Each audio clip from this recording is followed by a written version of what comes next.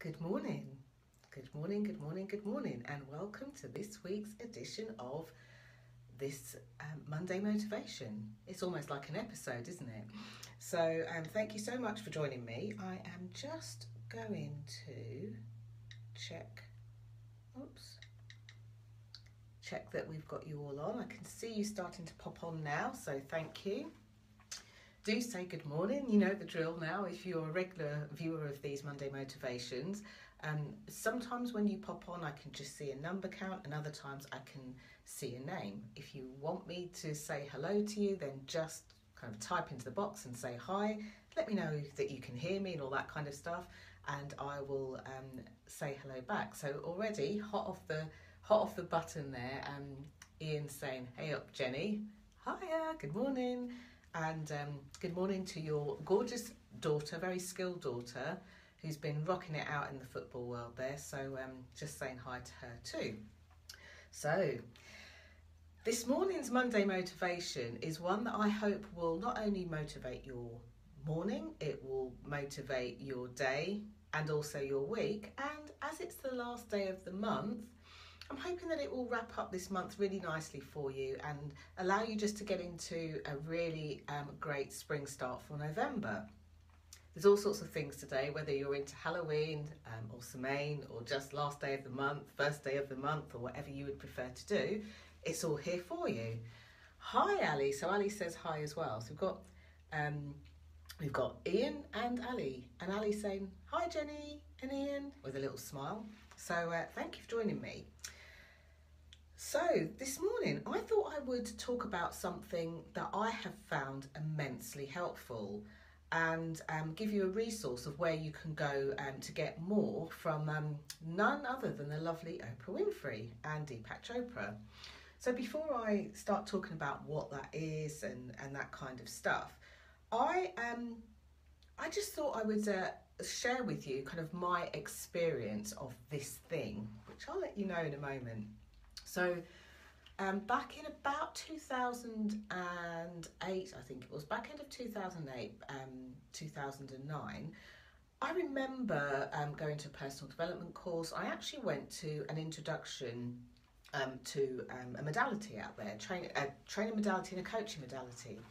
But I remember identifying really, really quickly that I found it difficult to kind of like switch my mind off, you know? If somebody had said to me back then, you know, go and sit in a room by yourself, don't take anything with you, be really quiet, I have to be honest, it would have done my head in. It, I, it would have driven me mad. Um, and I found it really hard to sit and do nothing. Because to me, if I was sitting and doing nothing, I was wasting time. If I was wasting time, I wasn't being effective. If I wasn't being effective, I wasn't being a good employee as I was back then. So, fast forward to today, I um, have a lot of people who ask me for um, some good strategies or good plans to get into their day, or they feel overwhelmed, they feel like they've got too much to do, they feel under pressure, they feel stressed. And every single time, this thing that I'm going to talk about this Monday is something that is like, oh, frog in my throat, something that I go back to time and time again. Um, so I thought I would share it with you. So I'm going to be talking about meditation. So let me give you some framework for that. I've got my notes on my um, my little iPod here, so you can hear a funny click, that's what it is.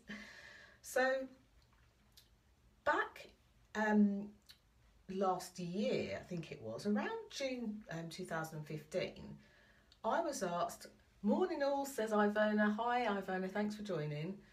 Um, back in 2000, June 2015, I was asked by um, a group of high performers. So uh, these were people that were kind of like really at the top of their game, um, very successful in business, whether that was their own business or um, whether they were, you know, working at quite a high executive level in someone else's business. Um, some of them had had success in the business area. Uh, many of them were very successful in their lives. And from the outside looking in, hey, Alan, good morning, Alan. Alan joins us as well. Hi. Um, many of these people had what's deemed as success from the outside looking in. So they had like really great relationships, great businesses, great positions at work. Some of them were quite wealthy. Uh, many of them had like the families that they desired. Um, some of them were able to go travelling quite a bit, quite extensively, and have that as their everyday life.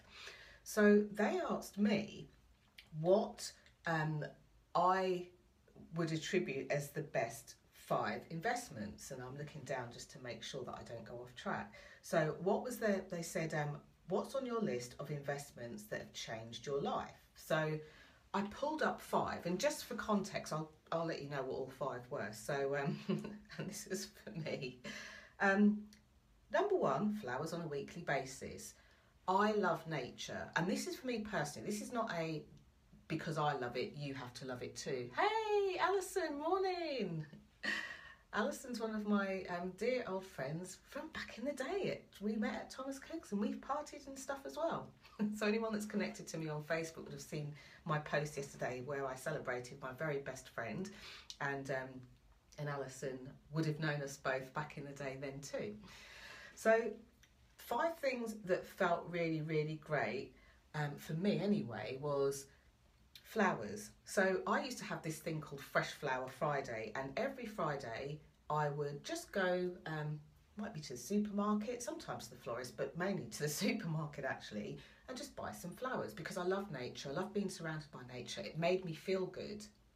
So I guess something to take away from that in terms of motivating your day and your week. What makes you feel good? If flowers are your thing, you might even go in the back garden. It could be dandelions. It doesn't matter what they are go and pick something and uh, you know all these lovely autumn leaves and berries you might want to put a, an array of those in your house the second thing that i said that i found um, really great on my list of investments believe it or not was spa days now before you all think that i'm some sort of diva one of the things that i like about spas is the ambience it's the stillness of the spa and you know what i could go to a spa and not have a treatment i could just sit in the the, the um, a very hot jacuzzi it has to be, but I could sit in a jacuzzi all day, just like a little lizard, you know, sit in the water, get out, and that kind of stuff.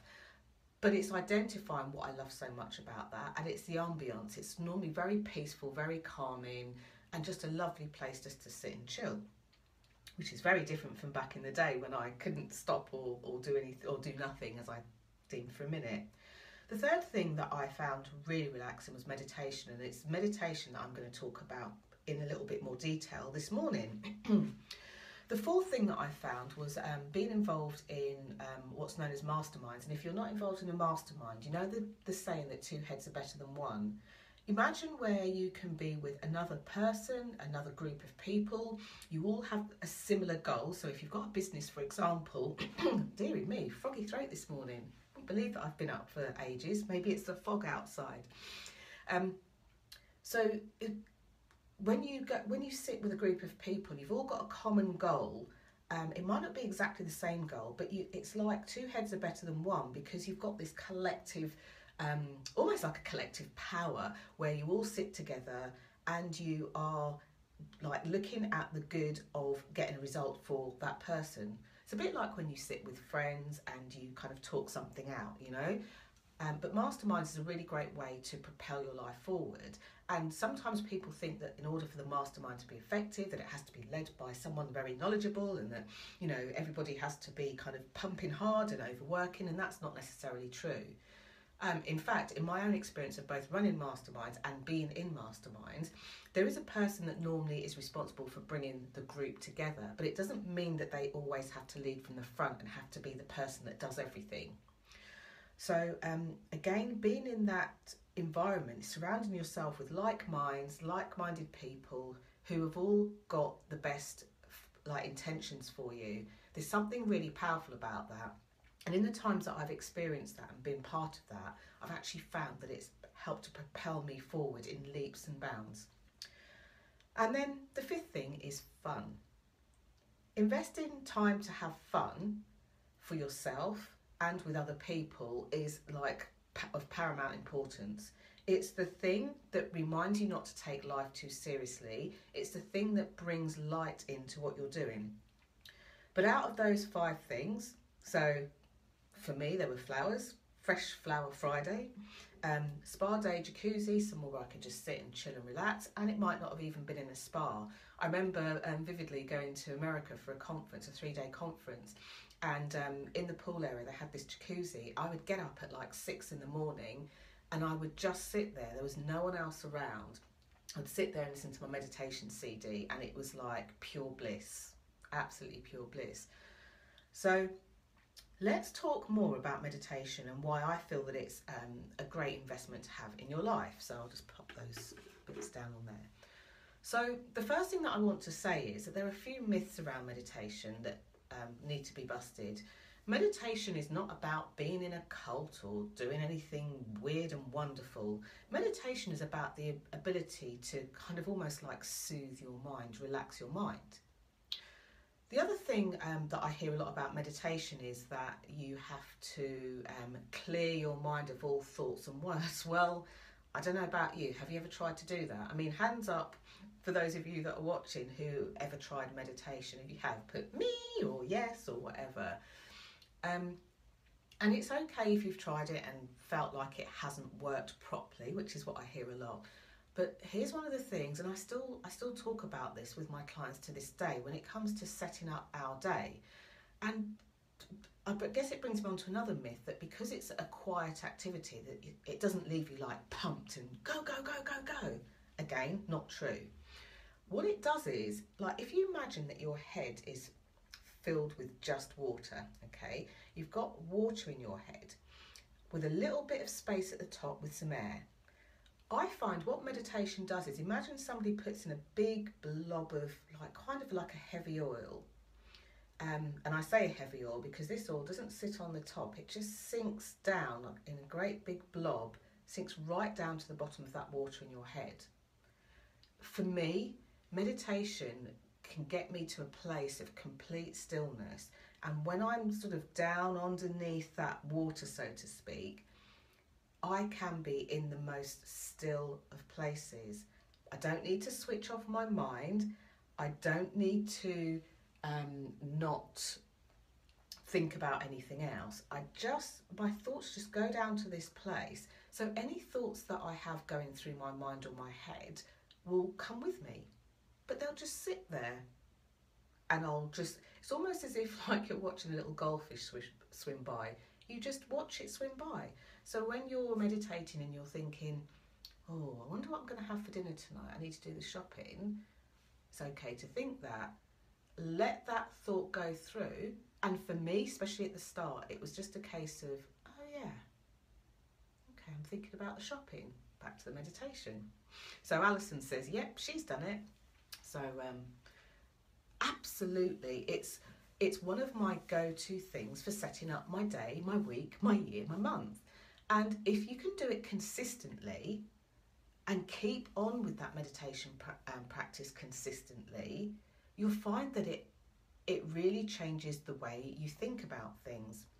Now, one of the other things, I see that Namisha's joined us, and Namisha is the queen of this. In fact, in um, a very recent um, seven day mindset makeover, Namisha was the expert that I brought in to talk about meditation at different levels, whether you're a beginner, whether you haven't got started yet, and how to take it further. So, like one of the things um, that I really love about meditation as well is that um, many of my um, clients, because these are the people that I get to speak to and work with very close up, um, they might be going through something and then they'll have this feeling of panic, they'll have this feeling of um, not knowing what to do. And when you've started your day with a meditation, you don't know what life will throw at you, you don't know what will come up in the day. But what you will know is that because you've already been to that kind of smooth place in your head that I described, where you just sit and it's almost like you get clarity because the doing nothing is actually doing something. When you've been to that place first thing before you've done anything else with your day, and although there's no right or wrong with this, I am a big advocate of meditating before you do anything else. Literally, before your feet touch the ground in the morning, the best time to do that is to meditate. And there have been times when I haven't had time to meditate, so I've woken up a bit earlier. Now, for those of you that are worried about the, the time factor on this, you can start meditating from as little as 10 minutes a day. I've got, um, you know, lots of different kind of meditation music I can listen to.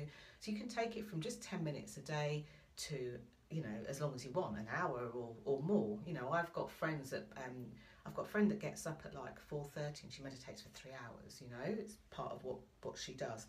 So the comments coming in, um, yeah, Namisha said it's my go-to with lots of love hearts, absolutely.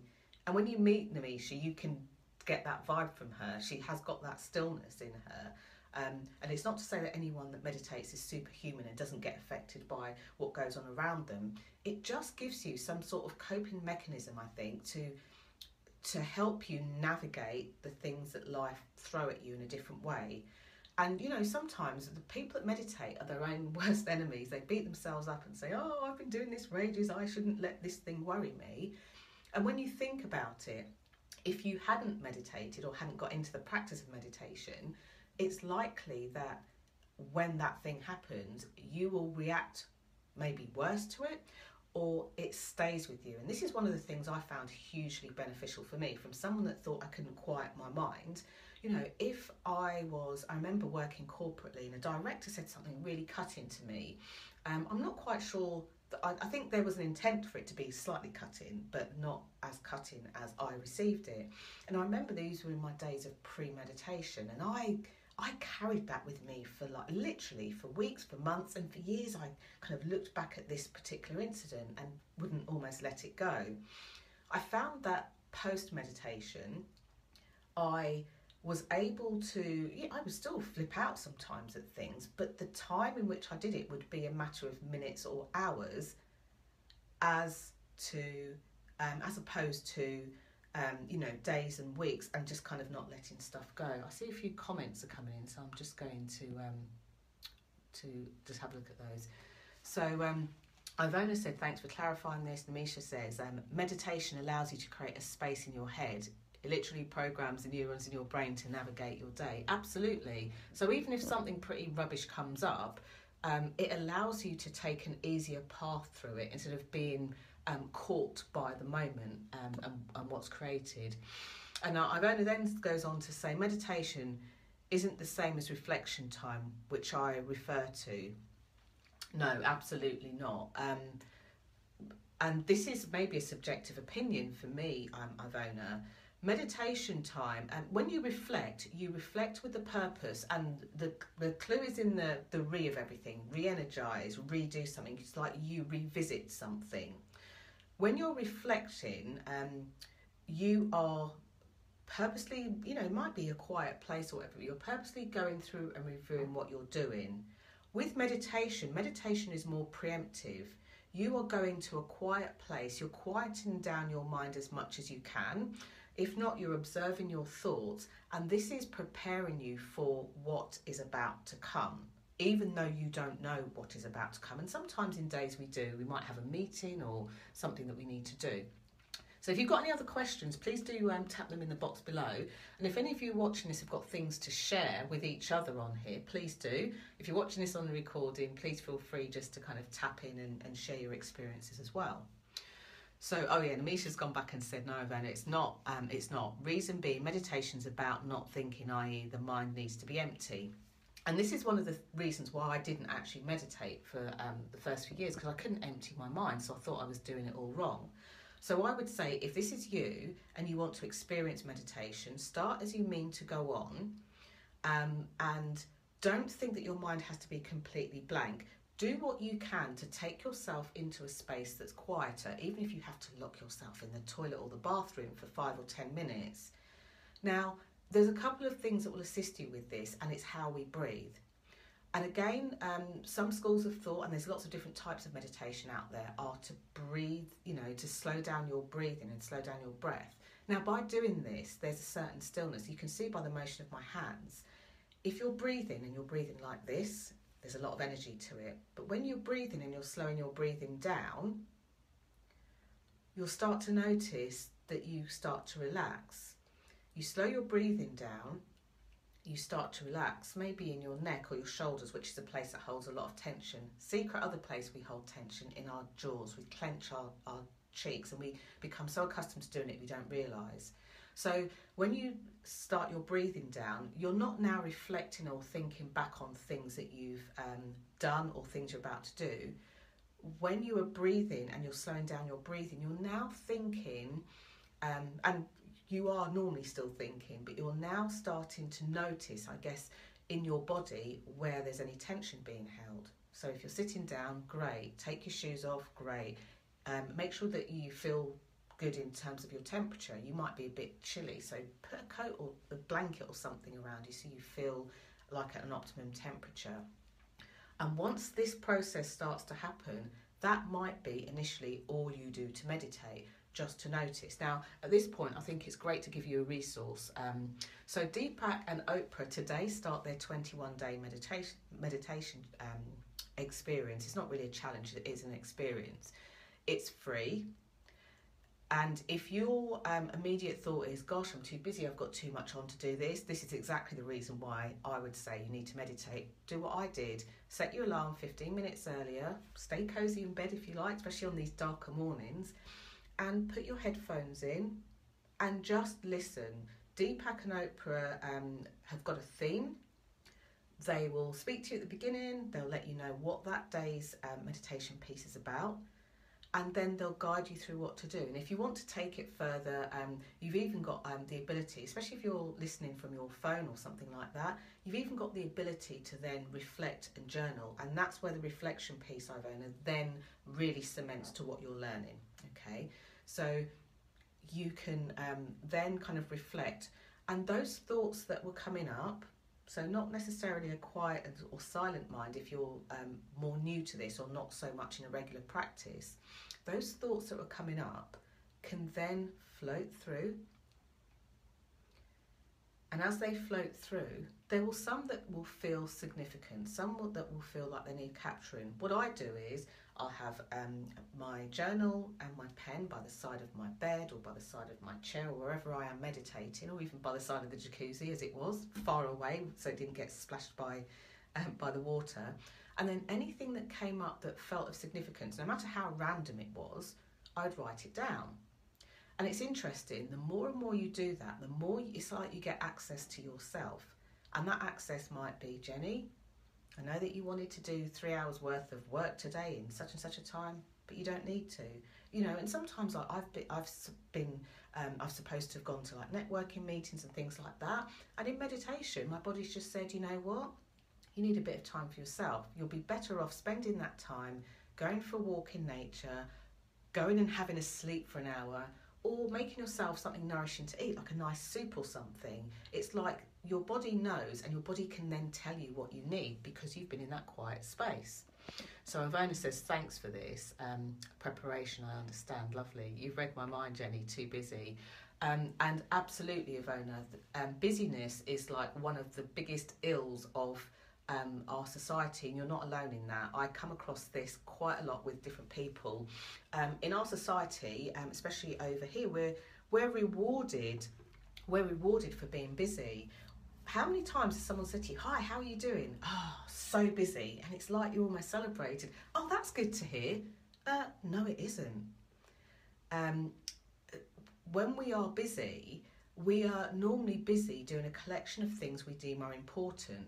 And what I found um, for myself in meditation was that I, it enabled me just to sit back, sit back and look at what actually needed doing, what was actually getting me specific results. A lot of people think, for example, oh, I'm busy because I'm doing this course or that course and I'm learning this. Well, that's a way to be busy, but there's no point in going and learning to do something or going out and doing something if it isn't getting you closer to what you what you want to do. Um, it's a bit like when you've got, you know, if you've got kids and they're really tiny and you're getting them ready for school.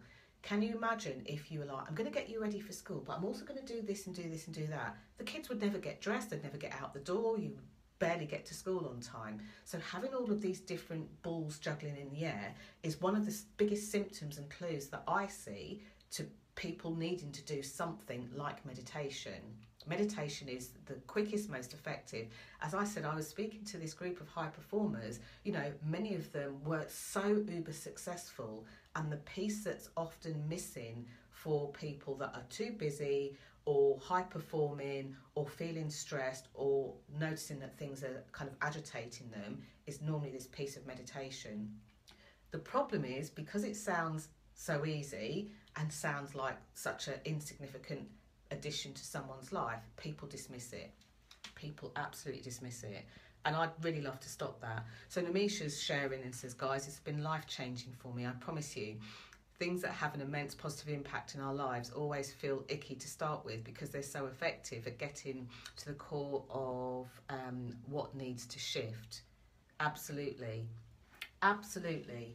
In fact, um, another experience that I'll also share, and thank you for sharing that, Namisha, is that um, once I started to get more consistent in my meditation, I freaked out less about things. I began to have more success in certain areas of things where I was really kind of like um, committed to applying it.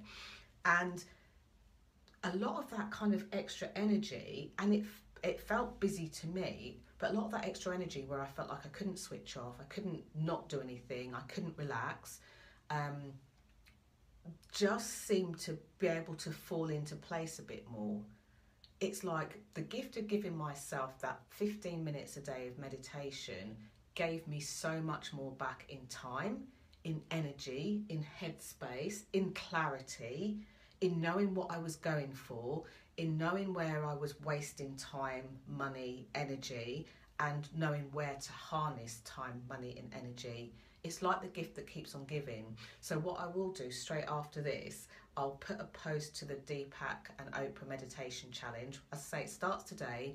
About eight o'clock every morning into your inbox, you'll get the link to the to the um, to the challenge to listen to. If like me, you have like um, a smartphone and you can get the meditation um, app on your phone, which is free, then you can listen through your phone. I like that because I've always got my headphones with me. I can go out on the go and I can listen to it, and it really sets up my day. In fact, something that Ivona said really touched me in my too busy itis, couldn't stop doing things, I was, you know, had too much going on, was that quite often through meditation, it would show me which bits to kind of get rid of and drop, which bits were completely insignificant and which bits weren't. And it's really surprising. Gives you such a clarity of focus and a wisdom. I, you know, I can't sing its praises enough. So just before um, I get ready to finish this Monday, um, this Monday motivation, I only said Monday mindset makeover, Monday motivation. If you've got any questions or comments, please pop them in the box below.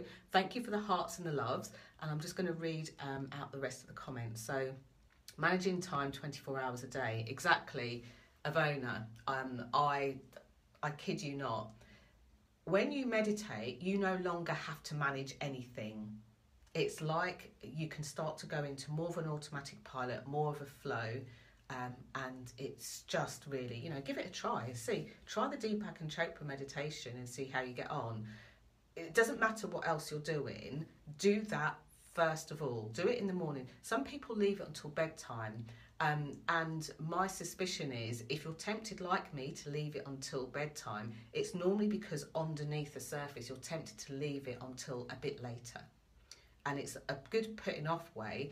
And then by the time you get to the end of the day, you're either too tired, you fall off the wagon, you don't sleep. The other great thing just to say about the Oprah and Deepak meditation challenge is that although there's a piece every day, um, they do have like a five day lag on it. So if for whatever reason you miss one day, don't beat yourself up, get back on the wagon and carry on. You've got five days to do this. So, um, and in fact, for those of you that are on here, um, like let me know how you get on if you don't want to post a comment here publicly on this page I do have the Visibility Vibes tribe. Just click to join. Um, I'll let you in there. No one can see what you're posting in there apart from the other people. Let me know how you get on. So that's all for today.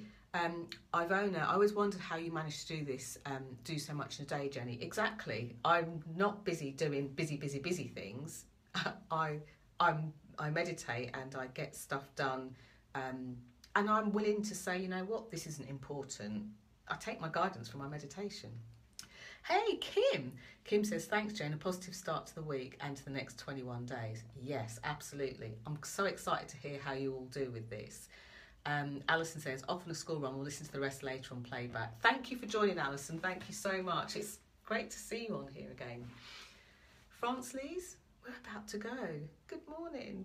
Good morning, my lovely. I think you might enjoy this one this morning. Have a listen, let me know, and pop over into the Visibility Vibe Tribe. As I say, if you don't want to put a comment underneath here, which you're more than welcome to do if you're listening on the replay, um, but if you don't want to put a comment on here, hop into the Visibility Vibe Tribe. Nice, nice secret and sacred space, and you can. Um, you know, talk about all sorts of things from being more visible, being heard by your world, being seen. So um, Alan says, already listened to the trial, it sounds good. Alan, it's immense. And having met you in the flesh now as well, Alan, I know you'll love it it will stop all, and this is not just to Alan, this is to everybody, all of those um, kind of feelings of, oh my gosh, I've got so much to do, panic. If you're feeling like that about any area, any aspect of your life, there's not enough time or anything else like that, go to um, go to the Deepak and Oprah meditation challenge like right now. In fact, what I will do is I will go off and do that myself. I want to thank you so much for joining me, and I want to say a special hi to France Lee. So thank you, France Lee. Thanks, Alan. Um, Alan. Thank you, Alison. Thanks, Kim. Thanks, Ivona. Thank you, Namisha, um, and thank you just for joining and and saying hi. And uh, thank you so much for being the first two on, Ali and Ian. Thank you. And I look forward to seeing you hopefully again next Monday. Bring a friend or two, or, or at least share this recording with them if they could do with this too. Lots of love to you. Have a fantastic week, fantastic end of October, and fantastic beginning of the new next month. Bye for now. Thanks for the love.